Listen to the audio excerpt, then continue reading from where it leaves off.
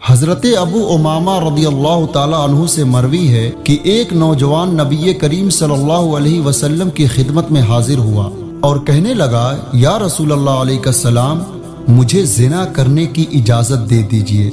लोग उसकी तरफ़ मुतवजह होकर उसे डांटने लगे और उसे पीछे हटाने लगे। लेकिन नबी करीम सल्लल्लाहु अलैहि वसल्लम ने उससे फरमाया, मेरे करीब आ जाओ। वो नबी करीम सल्लल्लाहु अलैहि वसल्लम के करीब जाकर बैठ गया। नबी करीम सल्लल्लाहु अलैहि वसल्लम ने उससे पूछा, क्या तुम ये पसंद करते हो कि कोई तुम्हारी माँ के साथ बदकारी करे? उसने कहा, अल्लाह की कसम, कभी नहीं। मैं आप पर कुर्बान जाऊँ। नबी करीम सल्लल्लाहु अलैहि वसल्लम ने फरमाया, लोग भी इसे अपनी माँ के लिए पसंद नहीं करते।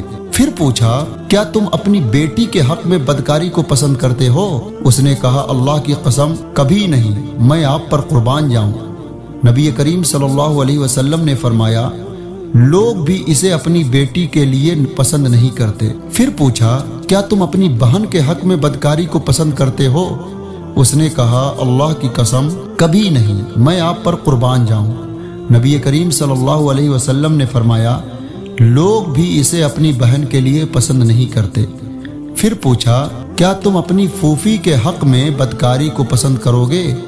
उसने कहा, अल्लाह की कसम, कभी नहीं, मैं आप पर कुर्बान जाऊँ नबी करीम सल्लल्लाहु अलैहि वसल्लम ने फरमाया, लोग भी इसे अपनी फूफी के हक में पसंद नहीं करते। फिर पूछा, क्या तुम अपनी खाला के हक में बदकारी को पसंद करोगे? उसने कहा, अल्लाह की कसम, कभी नहीं, मैं आप पर कुर्बान जाऊँ। नबी करीम सल्लल्लाहु अलैहि वसल्लम ने फरमाया, लोग भी इसे अपनी खाला के लिए पसंद नहीं करते। फिर नबी करीम सल्लल्लाहु अलैहि वसल्लम ने अपना दस्ते मुबारक उस नौजवान के जिस्म पर रखा और दुआ की कि अल्लाह, इसके गुनाहों को माफ़ फरमा दे और इसके दिल को पाक फरमा और इसकी शर्मगाह की हिफाजत फरमा। रावी कहते हैं कि, इसके बाद उस नौजवान ने कभी किसी की तरफ़ तवज्जो भी नहीं की।